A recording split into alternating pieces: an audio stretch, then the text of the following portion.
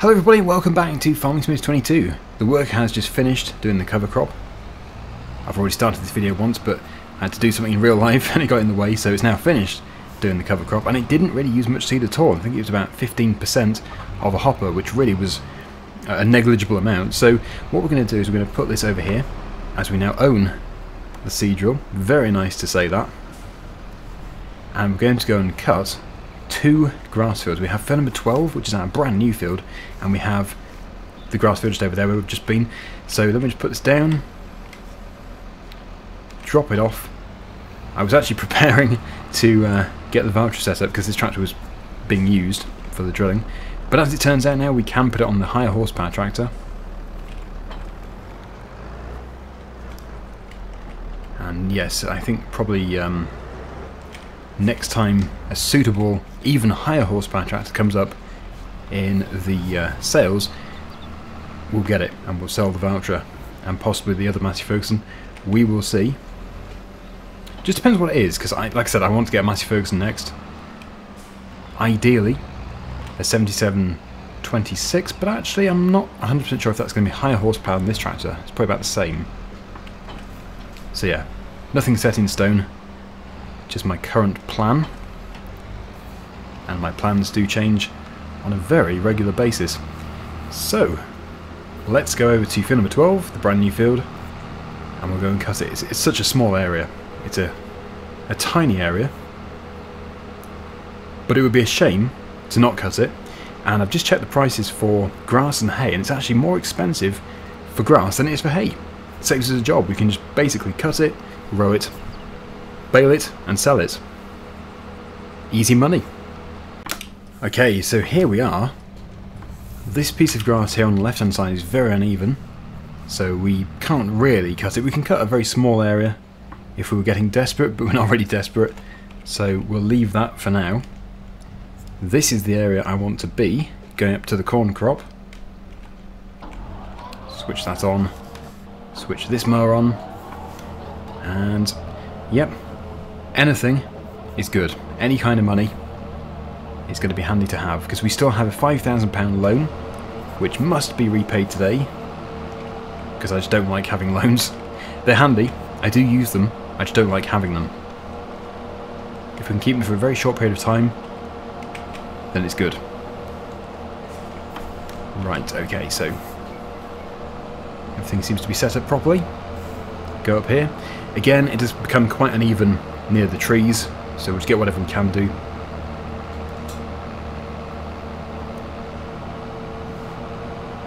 Yeah, it's not bad. We might get two bales, bearing in mind it's a very big baler. 9,000 litres per bale. We'll probably drop one bale, and then the other one will stay in the baler, or maybe all of it will, and it'll be taken over to the field. In fact, that'd be better.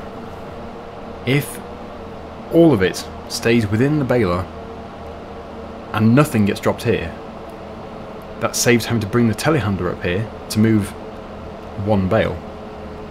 Potentially one bale. We'll just have to see how it goes. It's quite a thick crop here, so that's promising.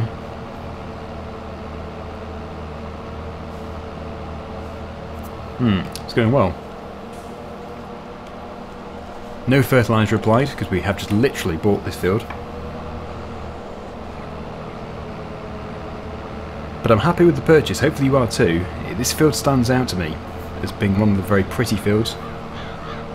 Instead of just a totally open, flat field with no trees at all. And you get two crops. Well, three crops actually. You get trees, grass and corn. Anyway, I'll continue. We'll get all this done. We'll then go straight back over to the other field, get that cut as well, and then we'll return with the windrow, or the rake, and the baler.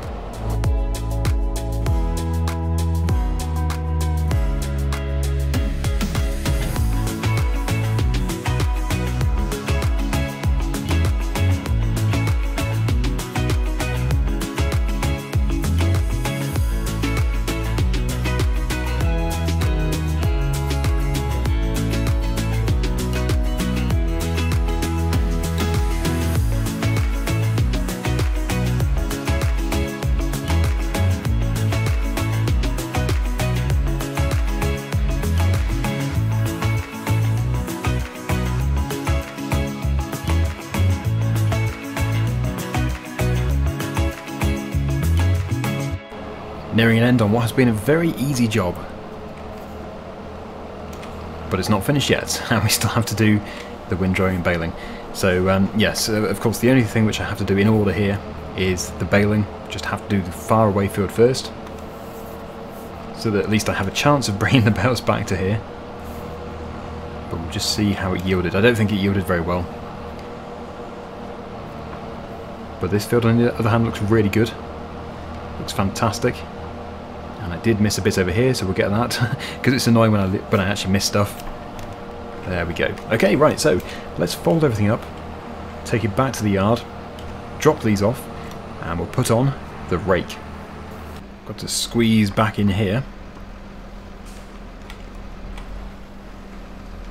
And I'm going to squeeze the rear mower into that gap. Which really shouldn't be too difficult.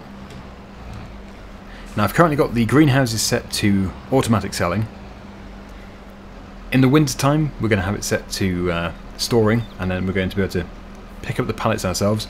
But in the summertime, at this time of year, we're just too busy. Because we do get a great deal of pallets out of it. Uh, so yeah, it's just for the best. The greenhouses probably do need water, and the chickens probably do need food. So yeah, those things need to be done at some point. Right, so since we're here, we will rake this field first, and then we'll rake field number 12. It's a pretty decent size rake. Try and get all the grass out of my newly drilled oilseed radish field. But that looks like a really good amount of grass. It will be interesting to see how much money we can make just from selling some grass but I was amazed when I looked at the prices. You get more for grass at the moment over hay. Let's just take a look here, see if it's still the same. 157, 154. So yeah, you can still get more for grass. Fantastic.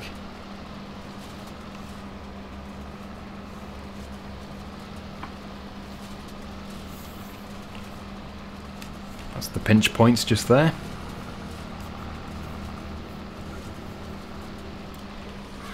And I'm not going to rest until we have sold the bales, just in case the prices go in the wrong direction. Could improve, but it's unlikely. I think the price it's currently at is quite good. So, yes, we'll move to September once we've finished with all of the grass work. Train. But windrowing will only take a couple of minutes.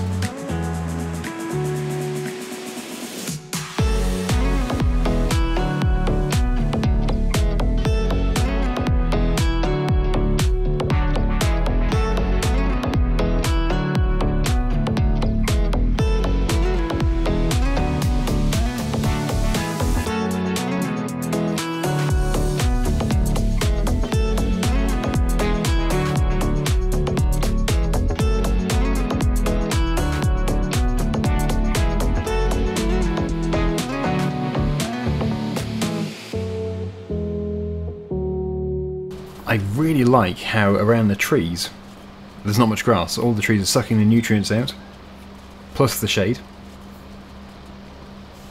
Really thin on the ground just here. And like I said, this is probably where the olives are going to go. And uh, if I get it the way I want it to go, uh, the olives won't be that long until we do plant them. Of course, we have to plant them at the right time of year. I am unsure of when we plant them. I should take a look. March until June. So that's good timing. It means by the time we have the money, next year, we should be able to put some in.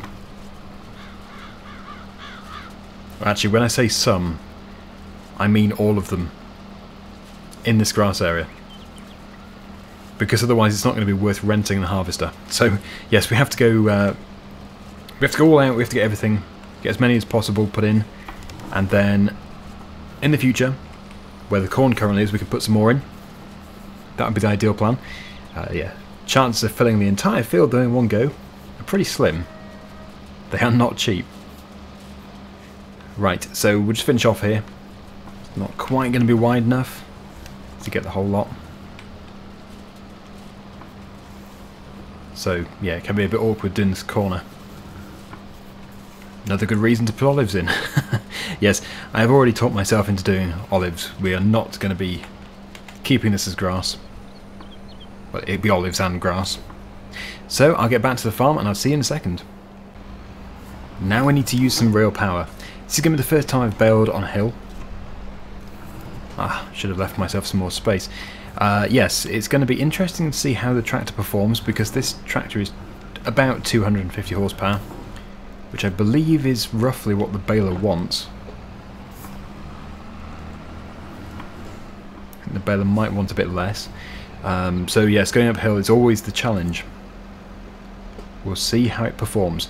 If it can't do it, it's fine, we can still bale it, we'll just have to go downhill. Drive uphill with it switched off, and bale going downhill, but let's hope it doesn't come to that.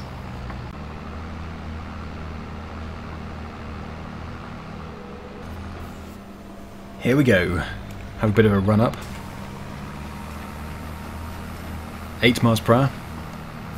7, 6. uh, let's see what we can get down to.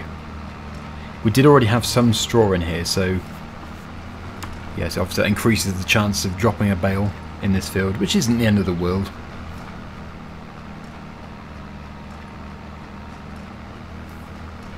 Well, it can do it. 7 miles per hour. I think maybe on that side we'll get down to 5 or 6 because it gets very steep.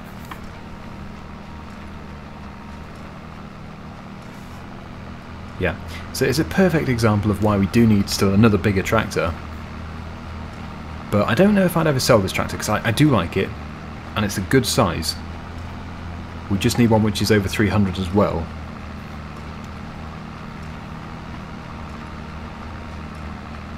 We could sell the Massey Ferguson and the Valtra, which I have considered on a number of occasions now. But then it is also handy to have a little yard tractor. So I guess yeah, we could just get a whole new load of tractors. We could get the little Iseki tractor or something, and then get a bigger Massey Ferguson. We could get the 8S. I, I wasn't going to get the 8S. I prefer a 7700 series. Um, but the 8S certainly ticks the right boxes for power. Failing that, I would go for a Fendt.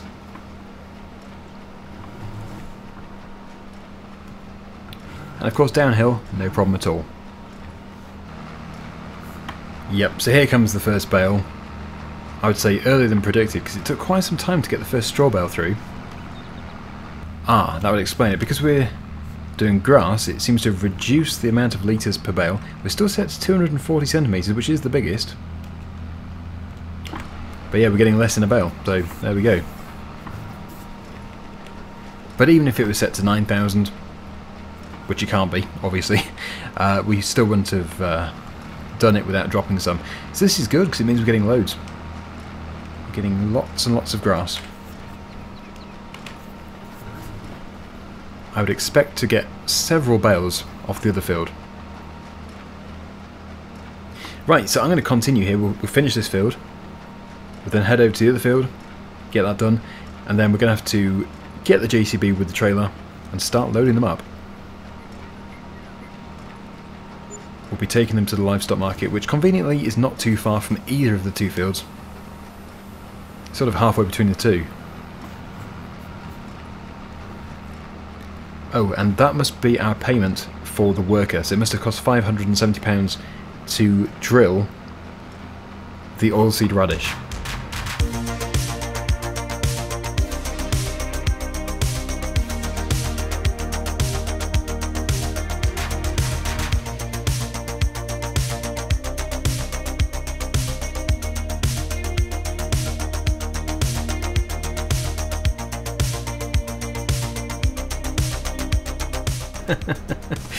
I think it's probably quite heavy. Lifting the back of the tractor up. Gonna have to get rid of it here. I thought we could just leave it there, but no. Surprisingly, we could, uh, yeah, it just goes to show we do need a bigger tractor. Or maybe some rear wheel weights. That could be very handy.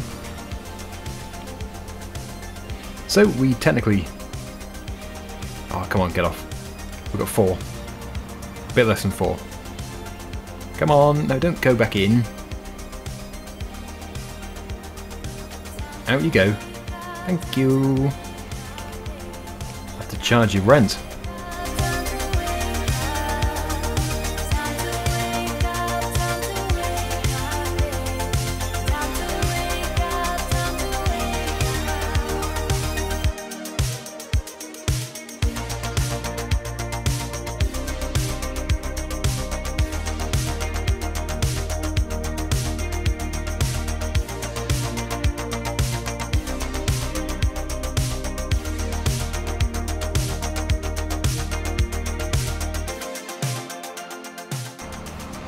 We're doing really well. It's enough time lapses for one day, I think. That is the problem, because there's so many different jobs that we have to do just to produce a grass bale. Uh, a lot of travelling around, lots of time lapses have to be done. And even for this very small area, it does eat up the time. But like I said, I think it really is the travelling. Going to and from fields takes time. So let's hope we can get something good. As I said, anything is good. We're just using the grass that we have because it would be a shame to see it go to waste. Let's hope those prices are still good for grass. Uh, but yeah, it's uh, it, it's nice not to have to ted it and still make slightly more money.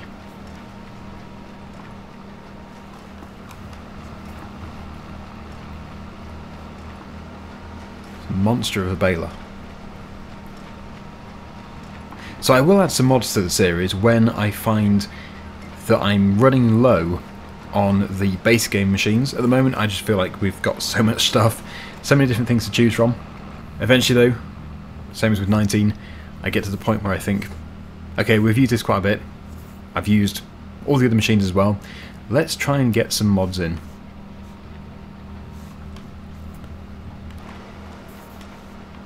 Right, so look at that. We've got four bales up at the other field, and we have many bales here as well.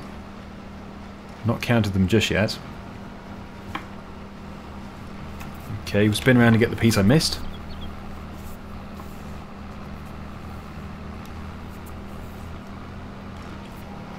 Anything left in the baler can be used next time, so probably for straw, or maybe for hay. Good, so we'll take some more out. There we go. And it should have actually recorded it on the uh, statistics page. 13. Fantastic. Out you go. So let's get all those 13 bales put onto the bale trailer. And we'll take them to the livestock market. Really running low on space. There is nowhere to put this. Um, might be the odd gap, but I think I'll just put it on the end. Keep the tractor attached for now. Spin around here parking next to our little workshop. See, that's the kind of mods I'm going for at the moment, rather than machines, but I will go for machines. Because mods are fantastic. Uh, okay, so JCB, where did I put my JCB? Won't be far away. There it is. And the trailer is there, so we would just use the JCB for everything. Tow the trailer.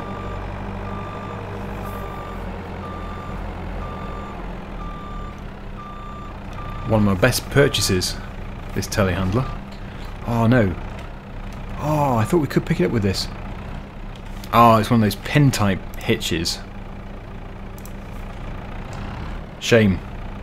Uh, in that case, I don't know how to... Oh. We're going to have to take the tractor over there as well. I don't think you can reconfigure the hitch type.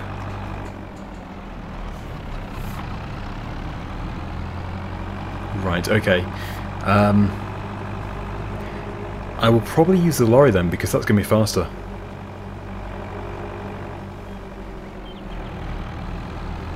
But we're still going to have to drive the JCB there. So we're going to be spending a bit of time travelling, which is, again, the reason why things take a long time.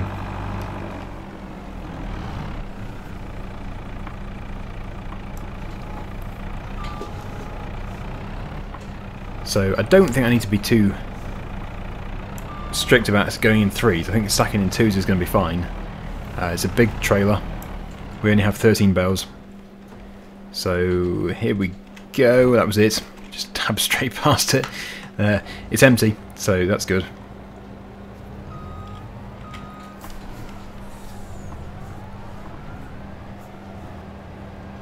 And we'll park it just here. I don't think you can have both curtains open at the same time, can you?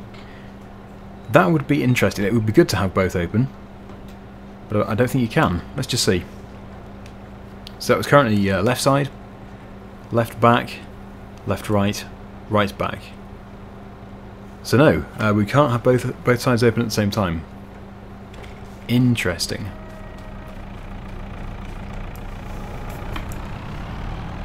I hadn't even thought of it until now, but it would just make it easier for me so I don't spike the uh, the curtain, put the bell spike all the way through.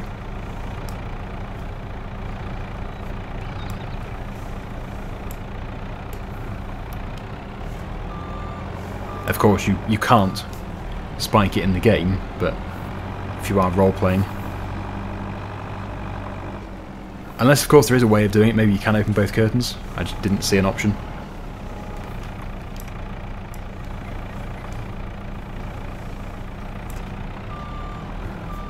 Try and stack these fairly precisely.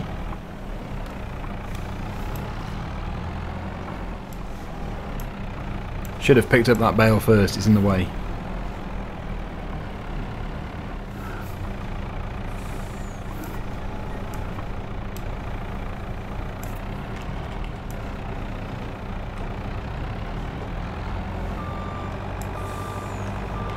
Okay, right, so what we've got, we've got two here, and we've got three over there.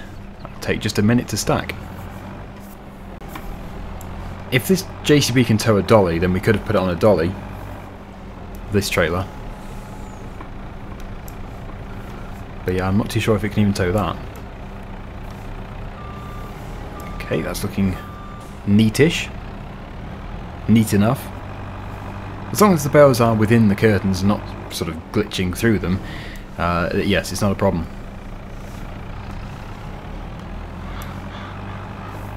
We have spent quite a bit of time in August. It is time we moved on to September. And then we can see what different machines have been put into the used machinery sale. We can't afford anything, but still interesting to see. We can take out a loan if something was really worth getting.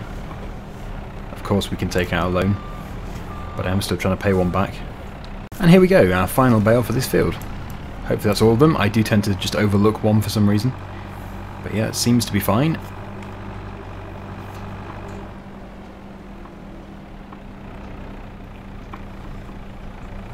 And with there only being four over at the other field, yep, we'll have no issues at all fitting them in.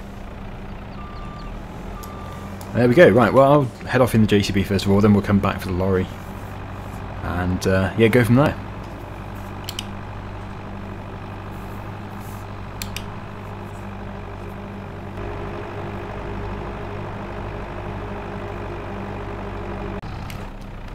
Our four bales.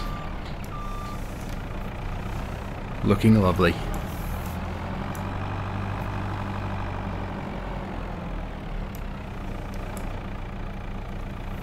Just get them ready.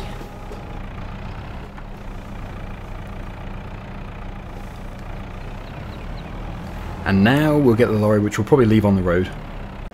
Right. Straps. Don't want these bells going flying. Close the curtain. And we're off. Well, we don't really need the beacons on, but yeah, they look good. Ah, look, a very small amount is coming through the curtain. A very small amount, but so far we have 58,500 litres in the trailer.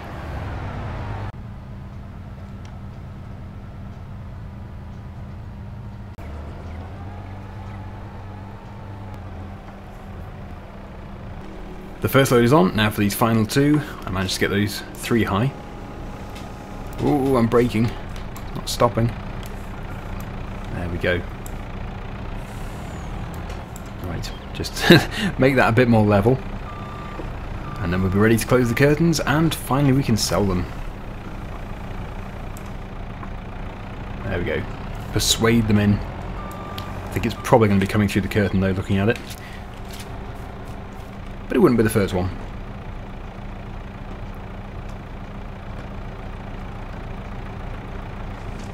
Yes. really badly. So yes, I'm going to go and put the JCB in our production yard. It's just up the road. It's not actually going to be needed again for a few days anyway, and if we can attach it to the grape trailer, which is up here, even better because we can take two things back at the same time. We're going to be harvesting grapes in uh, just a few episodes time, so let's see. I really don't know what kind of hitch this has. Uh, looks promising. Looks like it should attach to it.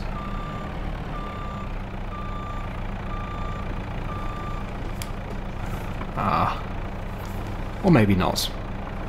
I'm sure that's the right hitch.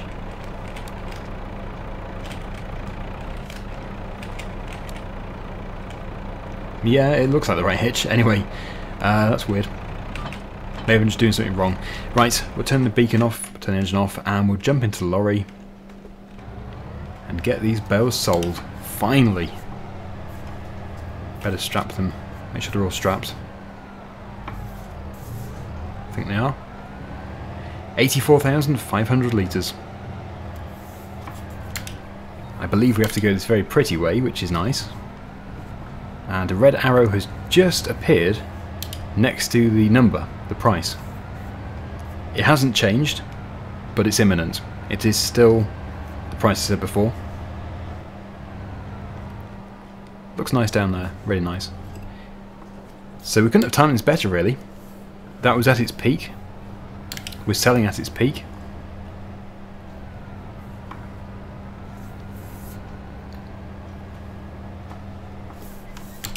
So here we go. How much have we made just by mowing some grass that we had available?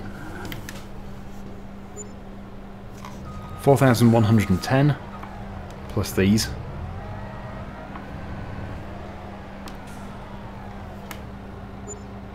Nine thousand uh.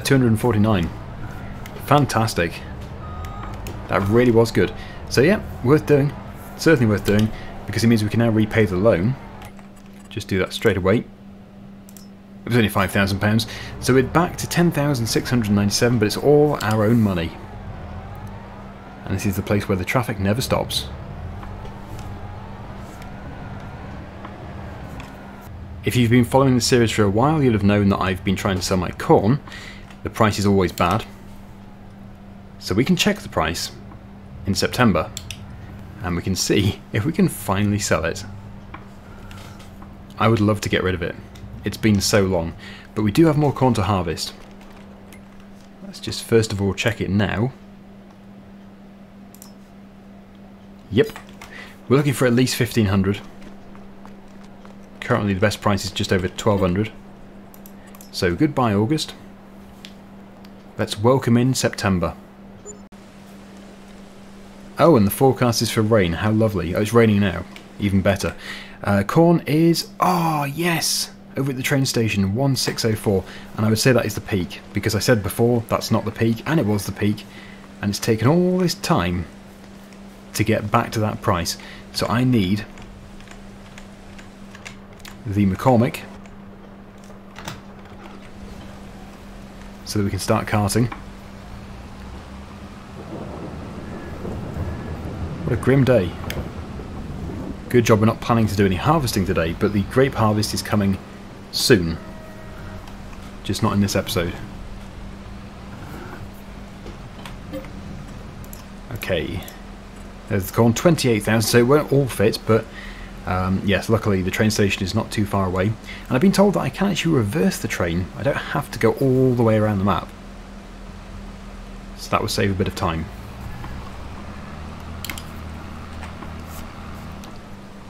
Our cover crop has germinated. Natural fertiliser, that's green manure.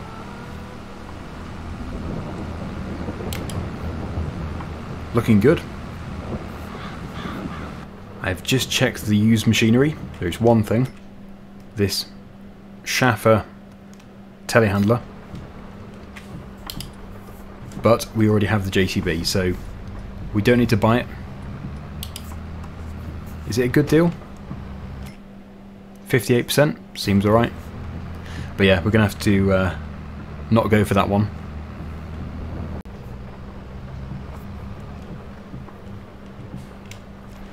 Get it tipped into here. And we'll have to call the train. When I'm tipping the second load, we'll call the train. It's probably a long way from here at the moment. It tends to be.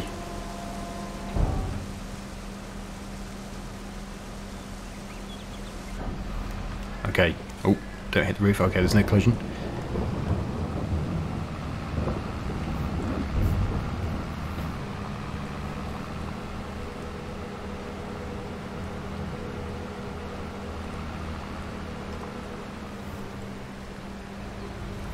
Need to make sure I give the chickens and also the greenhouses everything they need next time.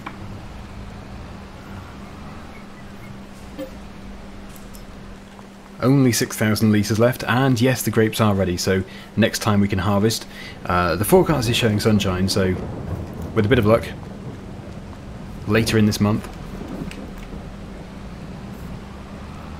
let's go and get that train.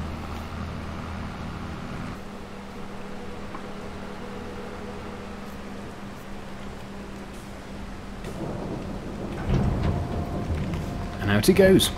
Right, so uh, let's press this button over here, see how far away it is. It is 2.6 kilometres away, which, yeah, I think for this map is quite some distance. In fact, that's possibly uh, the other side of the map completely. Where it goes to another place. That's the place we're selling to. The train will pull up here eventually.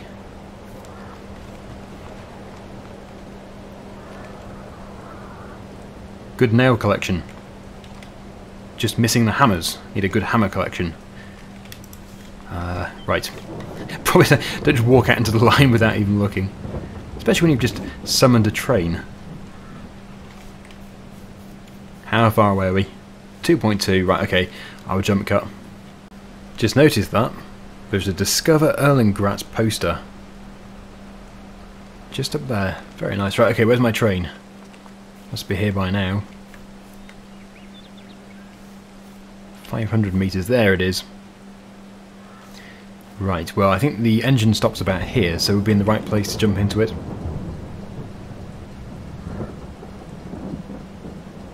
I'd love crossing that, leaves it late. Get about two seconds to get off the line.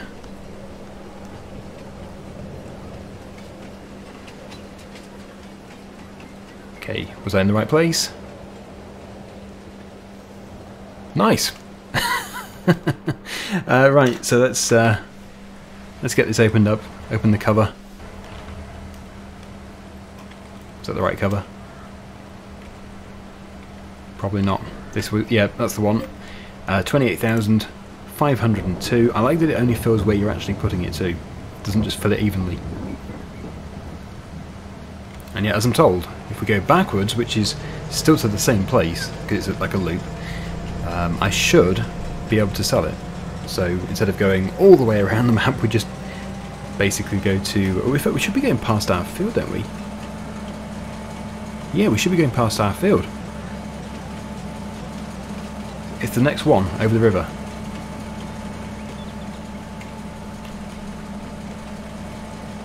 There it is, there's my forest. Oh, it's getting on so well. Haven't seen it recently. Lovely. Anyway, we are about to be thrown out of the train. There's my yard. And our grass field. Yep, this is the end, so let's collect the money. £45,811. Wow, I wasn't expecting that much. That's fantastic. So we end on a high. We have £57,866 now. Plenty more work to be done very soon. But that is it for today. Thank you so much for watching. Hopefully you enjoyed the video. And until next time, see you again very soon. Bye for now.